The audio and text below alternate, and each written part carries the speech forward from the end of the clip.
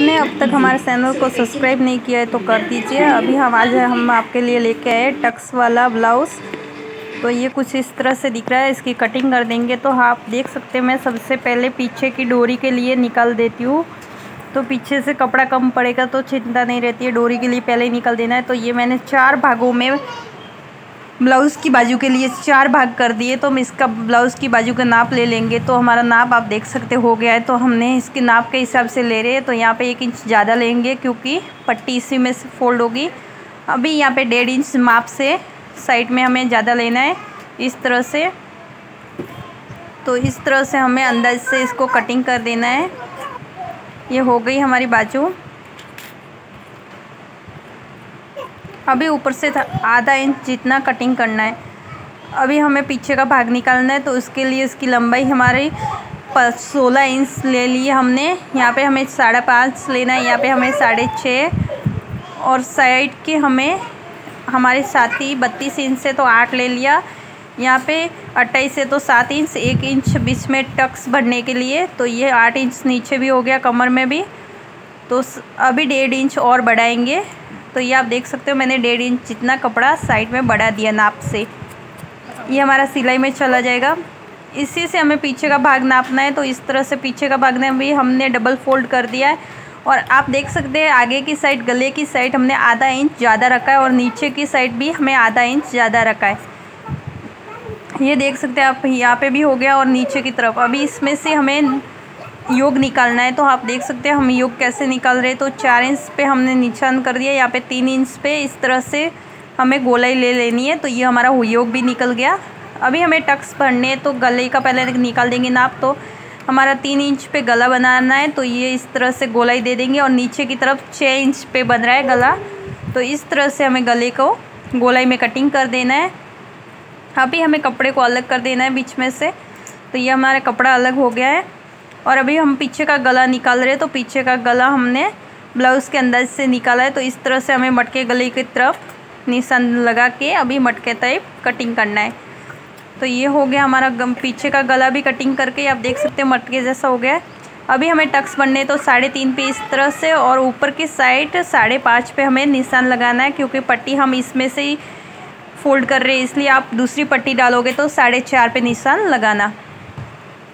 अभी यहाँ पे भी हमें साढ़े तीन पे निशान लगाना है और ऊपर की साइड ढाई इंच पे और यहाँ पे आपको बीचों बीच निशान लगाना है। सात है तो साढ़े तीन पे हम निशान लगा रहे हैं और बीच वहाँ पे हमें दो इंच पे निशान लगाना है और यहाँ पे बरोबर बीचों बीच, यहाँ पे ढाई इंच लेना है हमें।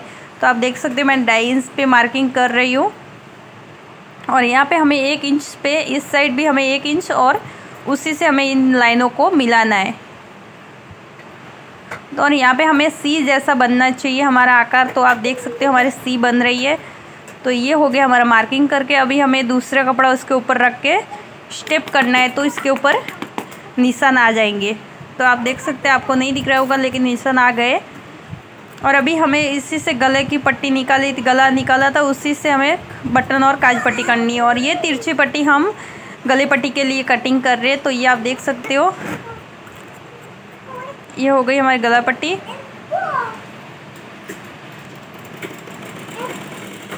हमें हमें बाजू की पट्टी यूज़ करना है तो हमने पहले उसमें से थोड़ी सी सिलाई लगाई, आप देख सकते हो, इस तरह से। फिर हमें एक इंच पे सिलाई लगानी है, एक इंच कपड़ा रख के पट्टी के लिए। ये आप देख सकते हो, मैंने एक इंच जितना कपड़ा रखा है, और पट्टी की मैं सिलाई कर रही हूँ। तो ये हमारी हाथ की हो गई है सिलाई, पट्टी की, इस तरह से। आपको इस तरह से पट्टी की सिलाई करनी है। अभी हमें योग की करनी है सिलाई तो योग का भी हम इसी में से पट्टी फोल्ड करेंगे तो योग में से तो हम देख सकते हैं, पहले थोड़ी सी ली है, फिर हम एक इंच जितनी योग की भी पट्टी फोल्ड करेंगे। ये एक इंच जितनी योग की भी पट्टी फोल्ड हो चुकी है। आपको वीडियो में कुछ समझ ना आए तो आप हमें कमेंट करके ज़रूर बता सकते हैं। ये हमें क्रॉसिंग पट्टी कटिंग की थी गले के लिए, उसको हम इस तरह से जॉइंट कर देंगे। अभी हमें टक्स को भरने हैं तो जहाँ पे हमने निशान लगाया है वहाँ से हमें सिलाई करनी है। नीचे से थोड़ा आधा इंच जितना लेना है, ऊपर से एकदम कम करना है। इस तरह से हमें सिलाई करनी है। आप देख सकते हो मैं किस तरह से कर रही हूँ। नीचे से थोड़ा ज़्यादा ले रही हूँ और ऊपर से ज़्यादा नहीं लेना है, एक सवा इंच जितना लेना है, वो बहुत कम लेना है, पौना इंच जितना। इस तरह से सिलाई करनी है। ये देख सकते कितनी बारीक सिलाई मैंने की है, ज़्यादा नहीं, कपड़ा पकड़ा है। इसी तरह सभी टक्स को भर देने हैं। ये टक्स वाला ब्लाउज़ बहुत ही इजी सिलाई हो जाता है और इसमें ज़्यादा समय भी नहीं लगता है। आपने अभी तक हमारे चैनल को सब्सक्राइब नहीं किया है तो कर दीजिए और ना कुछ समझ आए तो कमेंट करके ज़रूर बताएँ। और हमारा वीडियो कैसा लगा आपको, ये भी कमेंट में ज़रूर बताइए। इस तरह से सारे टक्स भर अभी हमें पीछे के भाग में टक्स भर देने हैं तो हमने निशान लगाया था, वहाँ पे हमें इस तरह से आधा इंच नीचे से और ऊपर से बारीक बारीक करके सिलाई ले लेनी है। तो ये हो गया हमारे पीछे का भी टक्स भर के एक और ये दूसरा भर रहे हैं हम। इस तरह से दोनों टक्स भर के हो गए हमारे।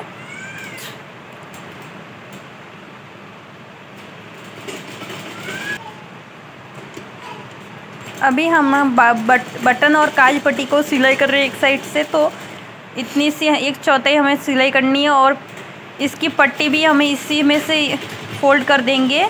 तो हमें पीछे के भाग में मैंने कप इसी कपड़े में से फोल्ड कर दी है पट्टी दूसरी नहीं लगाई आप देख सकते हो। ये हो गया अभी हम इसमें योग लगा देते हैं। आगे के भाग में तो योग हमें इस तरह से लगाना है जो मोटी साइड है वो मतलब आगे की साइड लगाना है, बटन पट्टी के साइड जो पीछे से पतला है कटिंग किया हुआ, वो पीछे की साइड में लगाना है। तो इस तरह से हमारे योग लगकर हो हो गए रेडी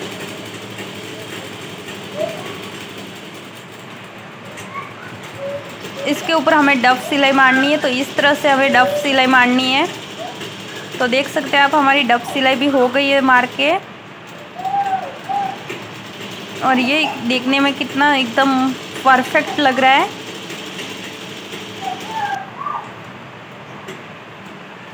अभी हम इसमें गला पट्टी लगा बटन पट्टी लगा देंगे तो अभी काज पट्टी लग रही है तो इस तरह से हमें काज पट्टी लगानी है। काट काज पट्टी राइट हैंड लेफ़्ट हैंड में लगती है और बटन पट्टी राइट हैंड में लगती है।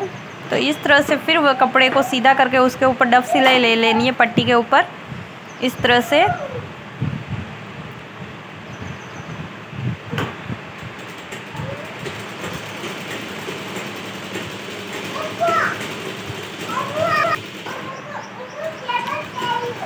अभी इसके ऊपर उसको अंदर की तरफ़ करके फिर उसके ऊपर सिलाई लेनी है हमें।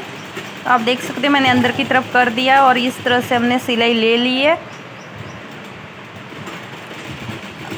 यहाँ तक हमें सिलाई ले लेनी है। अभी हमें काज पट्टी लगानी है तो कपड़े को उल्टा रखना है। उल्टी साइड में हमें लगानी है तो इस तरह से आप देख सकते हैं, मेरा ऊपर का कपड़ा सीधा है टक्स भरे हुए ऊपर है और पट्टी नीचे की तरफ़ से लग रही है। काज पट्टी में सीधी तरफ़ लगाना है और बटन पट्टी उल्टी साइड में लगाना है। तो उल्टी साइड में ये लग कर हो रही है। देख सकते हो आप किस तरह से मैं लगा रही हूँ। इसकी फिनिशिंग बहुत बढ़िया आती है और फिर इसके ऊपर रख के उसको सिलाई करनी है, आप देख सकते हो मैं इसके ऊपर रख के सीधे भाग में अभी सिलाई हो रही है।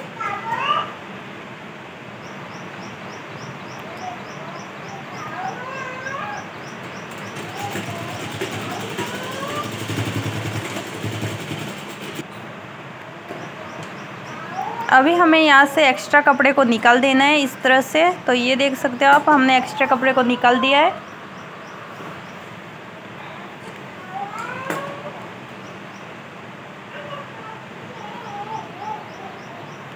अभी हमें जॉइंट कर देना है तो आप देख सकते हो हमारे चारों भाग एक जैसे है। अभी हमें सिलाई ले लेनी है तो इस तरह से हम सिलाई लेंगे।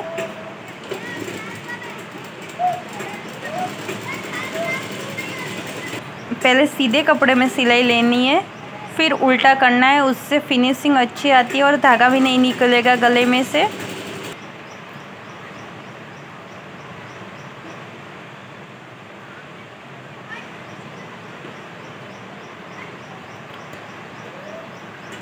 ये इस तरह से सिलाई हो रही है। अभी हमने उल्टा कपड़े को कर दिया और अंदर की तरफ़ सिलाई ले रहे हैं। तो आपको देख सकते हो कि ऊपर सिलाई के धागे नहीं दिख रहे हैं, बिल्कुल, क्योंकि अंदर भी सिलाई हो चुकी है और बाहर भी हो रही है तो एकदम इसकी फिनिशिंग बहुत अच्छी आ रही है।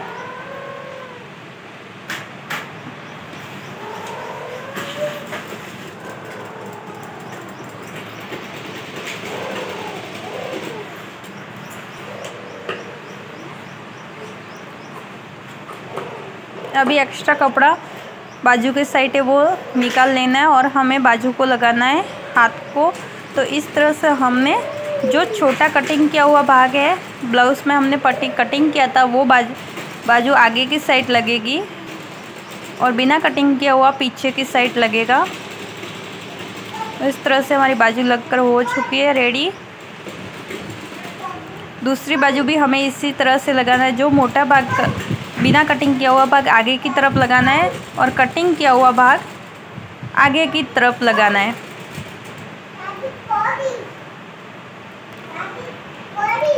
ये इस तरह से हो गया है। रेडी हमारा?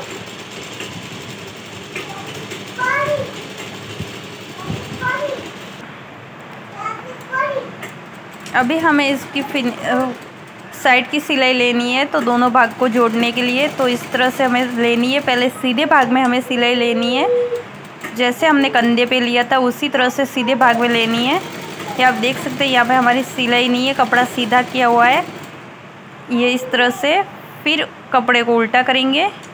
दूसरे भाग में भी हम पहले सिलाई ले लेंगे।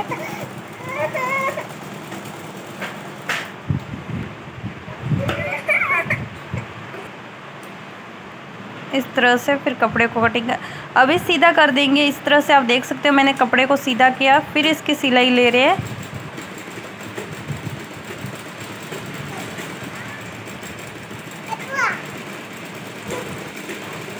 इस तरह से हमें सिलाई लेनी है। यह हो गई हमारी सिलाई, और दूसरे भाग में भी हम ले लेंगे तो आप देख सकते हो यहाँ पे हमारा धागा बिल्कुल नहीं दिख रहा है, क्योंकि हमने पहले सीधे भाग में सिलाई ली थी, फिर उल्टा लिया था। तो यहाँ से हमारी फिनिशिंग इतनी अच्छी दिखेगी ना ब्लाउज़ की। बहुत ही अच्छी फिनिशिंग आती है इससे।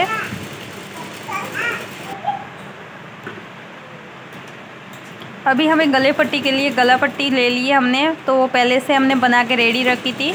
तो इस तरह से हमें गले पट्टी को जॉइंट करना है। इस तरह से।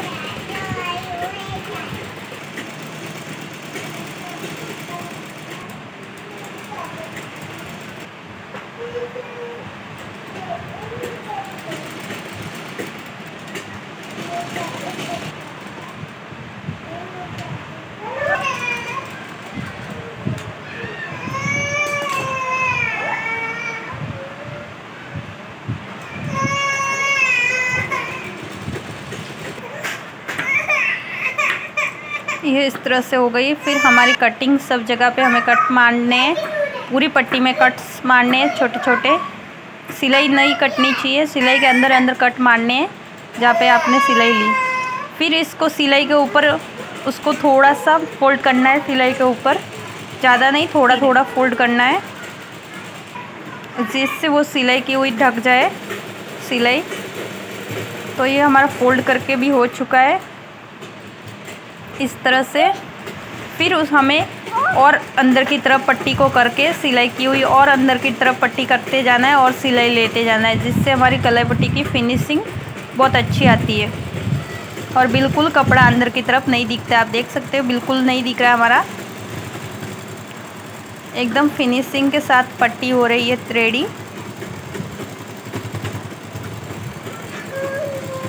ये पाइपिंग बहुत अच्छी दिखती है।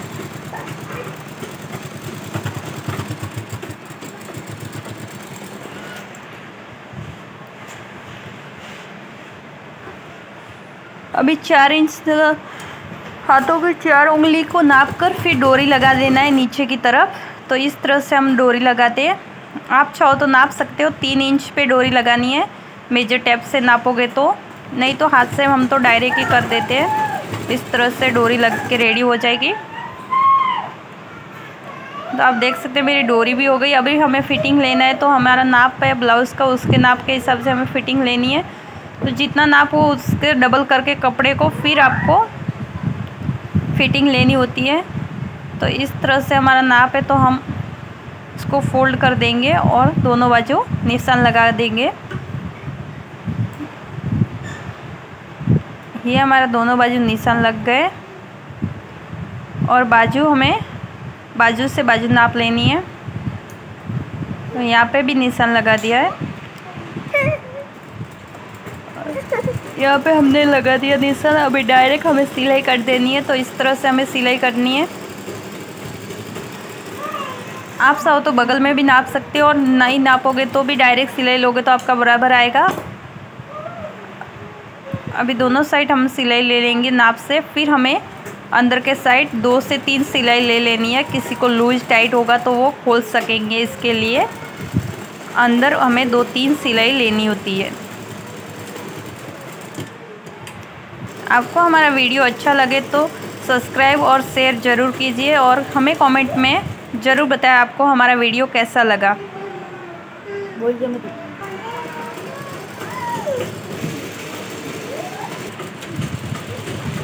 नेक्स्ट वीडियो के लिए